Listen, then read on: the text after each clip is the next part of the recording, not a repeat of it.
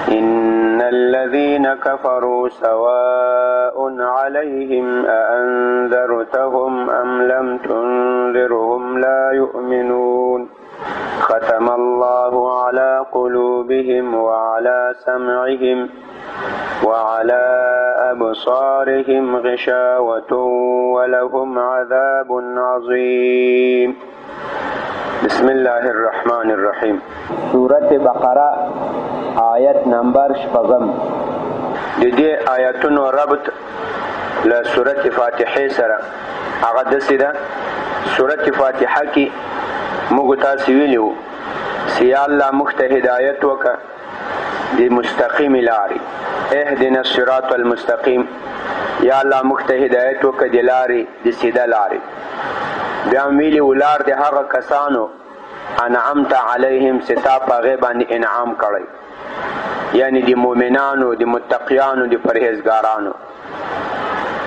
غیر المغضوب علیهم نه لار د هغه کسانو چې تا چې په هغې باندې غضب شوی ولا الضالین او نه لار د ګمراهانو نو سورت فاتحه کې درې کسان ذکر شوي ول یو منعم علیهم هغه چې الله په انعام کړی بل مغضوب علیهم هغه چې الله په هغې غضب کړی او بل ضالین ګمراهان بې لارې کسان هغسې لار جنې ورکه ده درې کسان هلته ذکر ول دلته سورت بقره کې الله تعالی د دې درې کسانو تفصیلي بیان کوي منعم علیهم په چا باندې چې انعام سوی ده هغه څوک دي هغه متقیان دي متقیان کوم صفات لري ایمان لري په غیبو باندې لمنځونه قایموي زکاتونه ورکوي په تا چې کوم کتاب نازل دی یا رسول الله په هغه ایمان لري لتانې په وړاندې کتابونو ایمان لري او په آخر ورځ باندې ایمان لري دا دی مؤمن دا دی منعم علیهم صفات شو دا دی هغه کسانو صفات شو چې الله په غي انعام کړي بیا الته دوه ډلې نور ذکر وي مغضوب علیهم چې هغه منافقین ول او ضالین چې هغه کافران ول اوس دلته دی اوغو دو ډلو بیان کوي ان الذين كفروا دا ادي کافرانو بیان ده دی کافرانو دی دوالینو یو سوال بدل ته دسی وسی چې دا دی کافرانو بیان ولی را مخکې کو دوالین گمراهان بیلار کسان گمراهان او کافران خو په صورت فاتحه کې په اخیر کې ذکرو نو باید هغه منافقینو بیان مخکې ذکر کړی وای مغضوب علیهم ځکه سورت فاتحه کې مغضوب علیهم اول ذکر دی د دې جواب د څه کړی چې اصلا کافر پیژندل دا آسان دي کافر آسان پیژندل کیږي اوس موږ تاسو ټول ته معلوم ده هندو سیک يهودای نصرانی کمونیزم کمونستان اوس دا کافران دي اده پیژنوي هیڅوک په دې کې شک نه کوي نو د ضالینو پیژندل د کافرانو پیژندل دا آسانه وو نو دا مختصر په دوو آیاتونو کې د دې بیان وکړو او د مغضوب علیهم د منافقینو پیژندل سخت وو د هغو بیان یې وروسته کو په هغو کې تفصیلي آیاتونه راوړل او د هغو دوه مثالونو هم ذکر کو ځکه د منافقانو پیژندل ډیر سخت دي منافق ته چې ته ووایې چې دا منافق د کافر ده بل دستي په خوله کې در ولویږي چې دې ته څنګه کافر وایې هغه لمونځونه کوي روزې نیسي حجونو ته روان ده ته وایې دا کافر ده هغه چیرته کافر دی منافق پیژندل سخت وو ځکه هغه په خوله د ایمان چیغې وږي په خوله باندې کلمه وایي نو د هغوی تفصیلي وضاحت وکړو په دیارلسو آیاتونو کې د دوالین کافران د دې پیژندل آسانه وو دا یې رامخکې کو په دوو آیاتونو کې د دې بیان وکړو ان الذین اوس د دوالینو بیان کوي د هغه کسان چې هغوی کافران دي هغوی بېلارې دي له سیده لارې نه کاږه شوي دي ان الذین یقینا هغه کسان کفرو چې دوی کافران شوي دي سواء علیهم برابر ده پر دوی باندې اانذرتهم که ته وویروې دوی ام لم تنذرهم او که ته دوی ونه ویروې انذر ينذر انذار دا یو چاته خبر ورکول سره لېری الاعلام مع تخويف یو څوک خبرول سره رويرولو لکه ته یو چاته د سی وای سیواله ک ایمان راوړه ک ایمان رانوړې بیا په آخرت کې د سی عذابونه دي په قبر کې داسې عذاب ده نو دا د خبر دیم کو چې ایمان راوړه او ودیم ویرول چې بیا په قبر کې په آخرت کې داسې عذابونه دي دغه خبرول سره له یرولو خبردادن با ترسانندن دیتا انذار وای الاعلام مع تخویفن الله تعالی نبی علیہ الصلوۃ والسلام ته وای یا رسول الله یقینا هغه کسان چې غوي کافران شوی دي که ته یې هغه ووېروې د آخرت او د قیامت له عذاب نه او که یې ونه وېروې دا دواړه خبرې دوی ته برابرې دي دوی ایمان نه راوړي ان الذين یقینا هغه کسان کفرو چې دوی کافران شوي دي سواء علیهم برابره ده په دوی باندې انذرتهم که ته ووېروې دوی ام لم تنذرهم یا یې ونه وېروې لا یؤمنون دی ایمان نه راوړي دی ایمان نه راوړي ولی الله تعالی په دې باندې د کفر فیصله کړې ده په ازل کې په لوح محفوظ کې نو کته دی وویروي د آخرت له عذاب نه کوي و نه ویروي دی ایمان نه راوړي له دغو کافرانو نه هغه کافران مطلب دي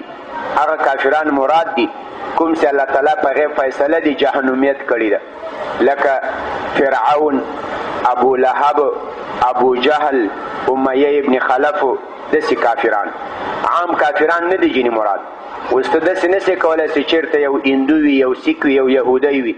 ته ورته ووایې چې تاسو ټول جهنمیان یاست ته چیرته می ایمان نه راوړې دا خبر موږ تاسو یو چاته نه سو ویلی کیدای سی دغه کس مسلمان سی ایمان راوړي یو کال دوه کاله درې کاله وروسته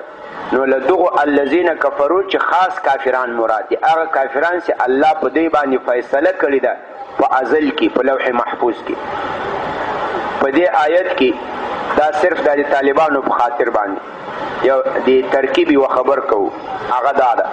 دا ان به حرف له حروف مشبب الفعل نسی الذين دا به موصول اسم دی ان سی کفرو دا به سله سی موصول سره له سله دا به اسم دی ان سی خبر څوک ده په خبر کې دوه خبرې دي یو ویل دي سلا یؤمنون ان الذين كفروا لا يؤمنون یقینا هغه کسان چې کافران شوی دي هغه ایمان نه راوړي دا یې خبر سو. دا په منځ کې جمله څه شی ده؟ دا په منځ کې جمله جمله معترضه ده جواب د سوال مقدر ده هغوی ولې ایمان نه راوړي یو څوک به سوال وکړي هغوی ځکه ایمان نه راوړي انذرتهم په تاویل د مصدر دا به مبتدا سي ام لم تنذرهم دا به په عطف سي انذارک وعدم انذارک سواء علیهم سواء علیهم دا به خبر سی دا یو توجه دویمه توجه د څه ان الذين كفروا الذين كفروا دا به موصول اسم دی ان سی سواء علیهم دا به خبر سی ورته دا به ورته خبر سی لا یؤمنون دا به بیان سي تفصیل به سي دل سواء څنګه دي تا ویرول نه ویرول دوی ته برابر دي لا یؤمنون دوی ایمان نه راوړي ختم الله الله تعالی دې دې وجوي وای ولې دغه کافران ابو جهل فرعون ابو لهب امیه ابن خلف دا کافران ایمان نه راوړي ختم الله مهرونه لګولي الله تعالی علی قلوبهم د دې پزړونو باندې ختم ختم دا مهر توایو لکه موږ تاسو یو کاغذ ولیکو یو مکتوب یو خط ولیکو د هغه په اخر کې ټاپه ولګو مهر ولګو دا مهر چې په کوم خط باندې ولګېږي په هغې کې بیا زیادت او نقصان نه کېږي نه په هغې کې بل کس نورې خبرې ورزیاتولی سي او نه کومې خبرې چې پکې وي هغه له دې کاغذ له دې مکتوب نه کمولی نه شي دلته الله تعالی وایي وایي الله دې د کافرانو په زړونو مهر لګولی یعنی ټاپی یې لګولي نو کوم کفر چې دی په زړه کې ده هغه ځینې راوځي نه او کوم هدایت چې یا رسول الله ته دوی ته بیانوې هغه ور داخلیږي نه ولې الله دې دوی په زړونو مهر لګولی ده ختم الله مهر لګولی ده الله تعالی علی قلوبهم په زړونو دې دوی وعلى سمعهم او دې دوی غوږونو باندې د دوی په غوږونو باندې الله تعالی مهرونه لګولي که څومره ته دوی ته حق بیان کې دوی حق نه اوري وعلى ابصارهم ابصار جمع دي بصر دا نظر ته وایي او د دوی په نظرونو باندې غشاوتون پردې دي د دوی په سترګو باندې پردې دي هغه داسې پردې نه دي لکه دا دلته سي د موږ تاسې په بعضې ناروغانو باندې پردې راسي په سترګو به ډاکټر ته بوزو هغه هغه پردې ورته ووږي بیرته یې سترګې روغې سي دا پردې چې دي دا د ړندېدلو پردې دي چې دوی په زور ځانونه چې ړانده جوړ کړي دي دا لکه دا موږ تاسې په وطنونو کې یو کس ظالم په یو مظلوم باندې ظلم کوي هغه ظالم ښه په دې پوهېږي چې زه په دې مظلوم ظلم کوم د ده ځمکه مې قبضه کړې د ده پټای مې قبضه کړی د ده مال مې قبضه کړی ښه پې پیږي چې زه ظلم کوم ناروا کوم خو چې څومره یو څوک نصیحت ورته وکړي دی خبرې مني نه نه مني دا ولې ځکه دې ظالم په سترګو په غوږونو په زړه باندې پردې او مهرونه راغلي ښه پوهېږي چې دا ناروا ده خو منې کېږي نه دا له دې نه پردو نه دغه پردې مراد دی چې دی ته حق نه ښکاري داسې ظاهري پردې نه دي په ظاهر کې چې د کافر سترګې څومره معاینه کې څومره ای وګوره په ډاکټرانو باندې روغې جوړې سترګې وي دا سترګې پر پردې دا مطلب چې دی ته حق نه ښکاري ولهم او د دې کافرانو لره عذاب عظیم عذاب عظیم ډیر لوی دا د کافرانو بیان شو په اولو آیاتونو کې د هغو کسانو بیان وکړو چې په هغې الله انعام کړی په دغو دوو آیاتو کې د هغه کسانو بیان وکړل چې هغه ګمراهان ول، بې لارې کسان ول، کافران ول. اوس د مغضوب علیهم بیان کوي، د منافقینو. ومن الناس او دا بعضې د خلکو نه من هغه دي یقولو دی وایي آمنا موږ ایمان راوړی ده بالله په الله تعالی باندې وبالیوم الاخر او په هغه ورځ باندې الاخره اخري او موږ په اخري ورځ ایمان راوړی الله تعالی وای وما هم او نه دي دوی بمؤمنین مؤمنان دوی دروغ وای په خلو باندې چې موږ ایمان راوړی په الله او په ورځ د آخرت دا صرف مؤمنانو ته ځان د ښکار کوي چې موږ مؤمنان یو نور دوی په ځړه کې مؤمنان نه دي یخادعون الله یخادعون الله دوی دوکه کوي چل کوي فریب کوي الله له الله تعالی سره والذین او له هغه کسانو سره آمنو چې هغوی ایمان راوړی دا دوی په دې خبرو باندې چې موږ ایمان راوړی په الله موږ ایمان راوړی په آخره ورځ دا دی له الله او له مؤمنانو سره دوکه کوي نور دی مؤمنان نه دي دی په زړه کې کافران دي الله تعالی وای وما يخدعون دی دوکه نه کوي الا مگر انفسهم لخپلو ځانونو سره وما يشعرون او دی نه پوهیږي شعر يشعر شعورا پوهیدل دی په دې نه پوهیږي چې موږ له خپل ځانونو سره دوکه کوو په دې جکه یو سوال کیږي یخادعون الله والذین آمنو دا منافقان دوکه کوي له الله تعالی او له هغه کسانو سره آمنو چې غوی ایمان راوړی په دې کې د سوال کیږي دا منافقان دوکه کوي له الله سره دوکه خو له هغه چا سره کیږي چې هغه په خبر نه پوهیږي لکه اوس دی یو دکاندار ته ورشي هغه په تا باندې د پنځو سوو موبایل په پنځه زره باندې خرڅ کړي ځکه ته موبایلونو باندې نه پوهېږې چې کوم یو ښه موبایل ده کوم یو بېکاره موبایل ده چې کور ته راشې ټول درته وایي تا سره خو یې دوکه کړې تا سره یې فریب کړی تا سره یې چل ول کړی ځکه ته نه پوهېدې او څوک چې په خبر پوهېږي له هغې سره څوک دوکه کولی شي مثال اوس ته په خپله په موبایلونو کې ښه مهارت لرې د موبایلونو کاروبار کوي چیرته راسي موبایل اخلي ا دکاندار تا سره دوکه کولای شي نه کانه ته په خپل پوهیږي چې دا خده دا بیکاره ده دا 500 ده دا دی 50 زرو ده لنا پوی سره سړی دوکه کولای شي نو دلته وای الله تعالی یخادعون دا منافقان دوکه کوي الله لا الله سره له الله سره خو دوکه نه کیږي کانه الله خو علم علم محیط لري الله تعالی خو په هر څه باندې خبر ده له داسې ذات سره څوک دوکه کولی شي نه نو څنګه دلته وایي چې دی له الله سره دوکه کوي دې ته دوه توجیهګانې کړي یو جواب یې داسې کړی چې دلته تقدیر ده د مضاف یخادعون رسول الله دی دوکه کوي دی الله له رسول سره له محمد صلی الله علیه وسلم له هغې سره دوکه کوي نبی علیه الصلاة والسلام ته وایي موږ ایمان راوړی په الله او په ورځ آخره باندې نو نبی علیه الصلاة والسلام خو علم الغیب نه لري هغه خو دی په زړونو نه ده خبر عالم بذات الصدور نه ده نو رښتیا هم نبی علیه الصلاة والسلام دوکه سي فریب وخوري په دې باندې ګمانو کې چې دا خو رښتیا مؤمنان دي له ځان سره غزات هم بوځي غنیمت هم ورکړي صدقې هم ورکړي پیسې هم ورکړي نو دلته تقدیر د مضاف ده یخادعون رسول الله دوی دوکه کوي د الله له رسول سره او له هغه کسانو سره آمنو چې دوی ایمان راوړی ښه دویمه توجیه یخادعون الله دی دوکه کوي له الله سره له الله سره خو دوکه نه کیږي خو دوی داسې ګمان کوي چې موږ له الله سره دوکه کوو د دوی په سوچ کې د دوی په ګمان دوی له الله سره دوکه کوي که نه نور له الله سره دوکه نه کیږي دا لکه مثال یو ماشوم وي ا ماشوم له خپل پلار سره دوکه کوي ا پلار ښه په باندې پوهیږي نو له کور نه چې راوځي پلار ورته وایي چې ځه بچی لاړ سه جومات ته دی وایي بس دا د لاړم جومات ته روان یم او په دې کې د کرکټ بیټ راواخلی هغه یې همداسې شاته نیولی ګوره بچی بل خو حلال نه شی نه نه بس دا د روان یم پلار یې ښه وویني چې ادبي ټي شاته نیولی او جومات ته نه ځي بل خوا ته روان ده پلار ځان پې باندې پوه نه کړي اوس دې ماشوم له پلار سره دوکه وکړه د ده په خپل ګمان او پلار د ده په دوکه باندې پوه شو که نه شو پوه هغه په ښه پوه شو خو هغه غږ نه لري نو یخادعون الله دا منافقان له الله سره دوکه کوي د دوی په ګمان چې موږ الله دوکه کو که نه نور له الله سره دوکه دا نه کېږي د دوی داسې سوچ ګمان ده او دوی دوکه کوي له هغه کسانو سره چې هغوی ایمان راوړی الله تعالی وایي دوی دوکه نه کوي مګر له خپلو ځانونو سره ولې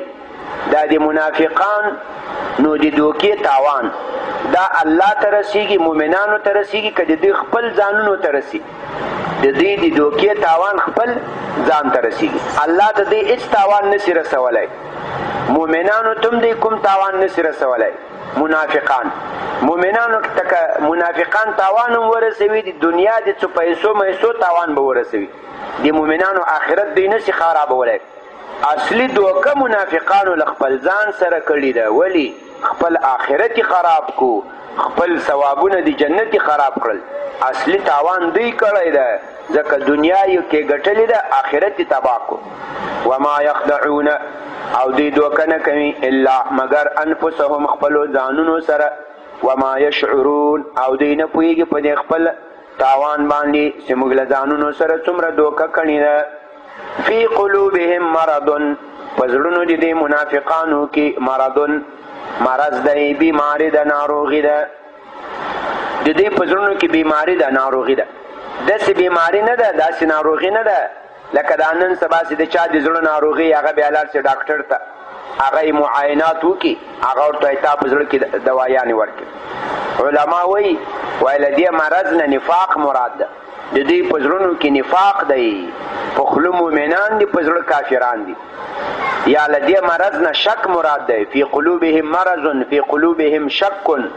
دوی شک لري د الله تعالی په وحدانیت کې د نبی علیه الصلاۃ والسلام په رسالت کې د باس بعد الموت په حقیقت کې د قران په حقیقت کې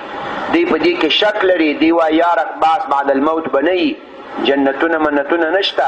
قرآن حق نه له تعالی جانه جوړ کړی دغه بیماری ده د دې په زړونو کې فی قلوبهم د دې په زړونو کې مرض ناروغي ده بیماری ده د شک ناروغي ده د نفاق ناروغي ده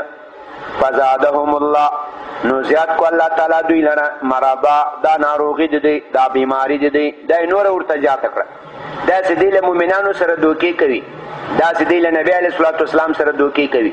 الله تعالی د دوی د زړه نفاق الله تعالی د دوی د زړه شک هغه نور مرته زیات کو ولهم او وی بدوی لنا عذاب عذاب علیم درد رسون کوي بما په سبب د هغه څه کانو چې دوی ول یکذبون دوی به دروغ ویل مؤمنانو ته په خوله به یې ویل چې موږ ایمان راوړی ده او په زړه کې به مؤمنان نه ول و اذا قیل لکم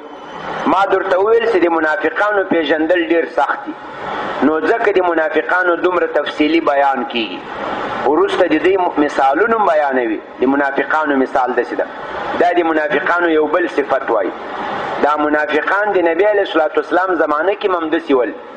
له کافرانو سره به لین دین وو له یهودو له نصاراو سره به له هندین وو له مشرکینو سره له هندوانو له سیکانو له بت پرستانو له دې سره به له هندین وو د مسلمانانو راپورونه د مسلمانانو جاسوسي به کافرانو ته کوله چې کله به مؤمنان ورته له ظالمانو تاسو څه کوئ اسلامي ملکونه هم وران کړل مسلمانان هم تباه کړل وای نه موږ اصلاح کوو موږ جوړجاړی کوو موږ وطن جوړو و اذا قیل لهم او کله چې وویل شي دوی لره لا تفسدو فساد مه کوئ فی الارض په ځمکه کې افسد یفسد افساد ورانی ورانی مه کوئ په ځمکه کې ولې د کافرانو سره تعلق ساتئ ولې له کافرانو ته جاسوسي کوئ د مسلمانانو حالاتو باندې خبروي قالو دوی وایي انما خبره دا ده بله نه ده نحن مصلحون موږ سیو مصلحون موږ اصلاح کوو موږ وطن جوړوو دا د دې موږ د وطن منافقان هم دسي دي سیورتوي او ظالمانو د امریکایانو ولې راوستي دي خو ټول وطن هم پې تباه برباد کو او بله ورځ یې بیا چېرته په جنازه په فاتحه کې بم خطا کړی ده څو کسان شهیدان کړي څلوېښت دي که پچاس کسان عوام غریبان شهیدان کړي بیا چې ورته وایي چې واله که دونه وایي دا خو اشتباه وسوه چې شی وسلو اشتباه وسوله بیا خواشینی څرګند کی هغه رئیس جمهور او رئیس دولت هغه وایي زه ډېر په دې باندې خفه یم نو والکه که ته خفه یې که خوشحاله یې مړي خو نه راژوندي کېږي ټول وطن یې پرې باندې تباه کړو چې ورته وایي دا ولي وایي موږ اصلاح کوو موږ وطن جوړوو وطن په بمونو جوړېږي وطن خو په کار جوړېږي په خدمت جوړېږي په اسبابو په وسایلو جوړېږي هغه راوز د ټینګونه تیارې پوجونه دا وطن جوړوي دا ټول دغه کسان و اذا قیل لهم او کله چې ویل چې د منافقانو ته لا تفسدو ورانه مکوي فساد مکوي په الارض په دې ځمکه کې قالو دی وای انما خبره دا د بلنه ده نحنو موږ سی مصلحون موږ اصلاح کوونکي یو موږ جوړونکي یو موږ مسلمانانو کافران سره جوړو د دې منځ کې جوړ جاړای راولو الله تعالی وایي الا خبردار اے مومنانو اے مومنانو خبردار د دوی په خبرو دوکه نسی دوی چې دا کومې خبرې کوي په میډیا کې په دې دوکه نسی اصلي فساد کوونکي دغه کسان دي اصلي ورانی کوونکي دغه کسان دي الا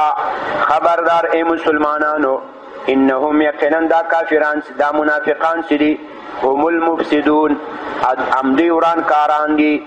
دی فساد کاران دي ولکن لا یشعرون خو لیکن دوی نه پوهیږي دوی په خپل فساد نه پوهیږي چې موږ څومره ورانۍ کړی چې موږ څومره خلک شهیدان کړو عام مسلمانان هم د کافرانو په لاس باندې مړه کړو په دې باندې دوی نه پوهیږي و اذا قیل لهم آمنو کله چې دې منافقانو ته ووایه چې والکه داسې ایمان راوړئ لکه د صحابه وو په شان صحابه وو څنګه کلک ایمان راوړی وو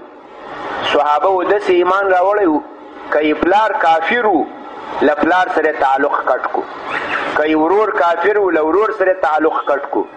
له بیبیانو سره تعلق کټ کو ذل بجادین عبد الله ذل بجادین دا یو صحابي وو دا د ډیر مالدار سړی زوی وو د ډیر مالدار سړی هغه دومره مالدار پلاری وو سیوه جوړه به سبایور کوله یو جوړه به بیګا ور کوله هغه به بیا دوم ځل به نه اغوستل هغه به ایسته خطا کوله یا به چیرته مسکین ته ورکوله بل ورځ دی مسلمان سو پلار په خبر سو پلار ورته ویل چې بیرته به کافر کیږي وای نه کافر کیږم وای نو بس د ما دا جوړې موړې دا پیسې مېسې هر څه راکړه هر څه یې ځینې واخیستل ا دې ځان جوړه یې هم ځینې وایستله لوڅ یې ودرول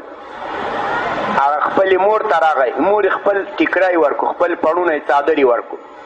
څادرې راواخیستل، په منځ یې دوه ټوکړي کو، یو یې لاندې له ځان نه تاو کو او یو یې بره ځان پرې باندې پټ کو. راغی نبی علیه الصلاة والسلام ته وایي، یا رسول الله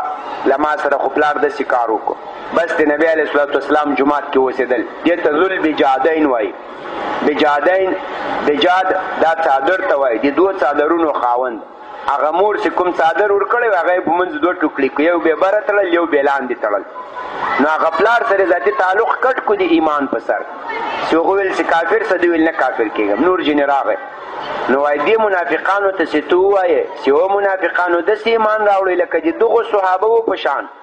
وګوره هغو له کافرو سره تعلق کټ کو دی وای وای دا خو کم عقلان دي دا په څه پوهېږي د دنیا په ګټه په فایده نه پوهېږي موږ داسې د کم عقلانو په شان ایمان نه راوړو و اذا قیل لهم او کله چې وویل شي دوی لره آمنو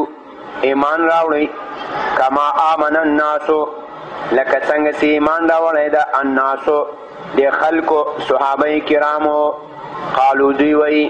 انؤمنو آیا موږ ایمان راوړو کما آمن لکه څنګه چې ایمان راوړی ده السفهاء د کمقلانو دوی وایي موږ داسې ایمان راوړو لکه د دې کمقلانو د اسلام لپاره خپل وطن کور جایداد او خپل پلار مال دولت ټول پرې خودل دا خو کمقلان دي د دنیا په ګټه نه پوهېږي موږ داسې ایمان نه راوړو قالو دی وای ان امنو دا استفهام انکاری ده یعنی موږ ایمان نه راوړو د سی ایمان لکه ایمان سره وړه د دې کم عقلانو سفها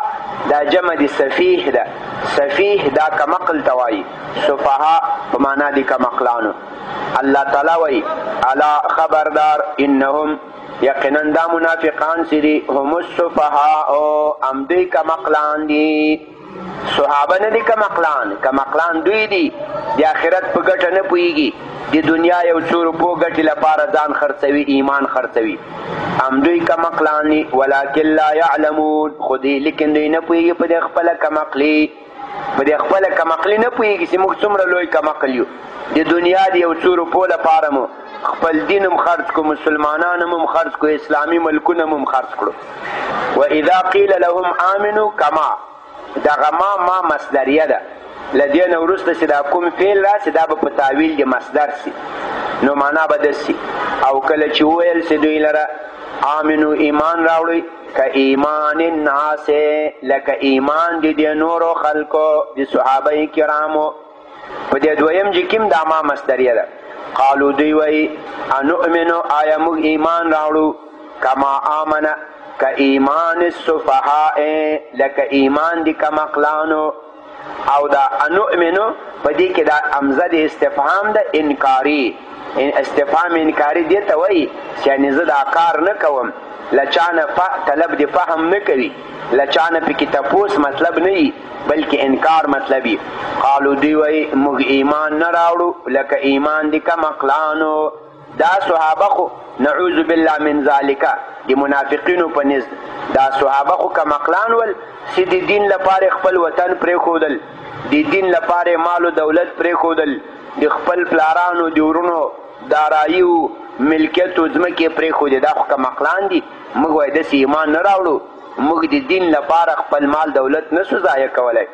الله تعالی وایي خبردارو مسلمانانو دوکه نشي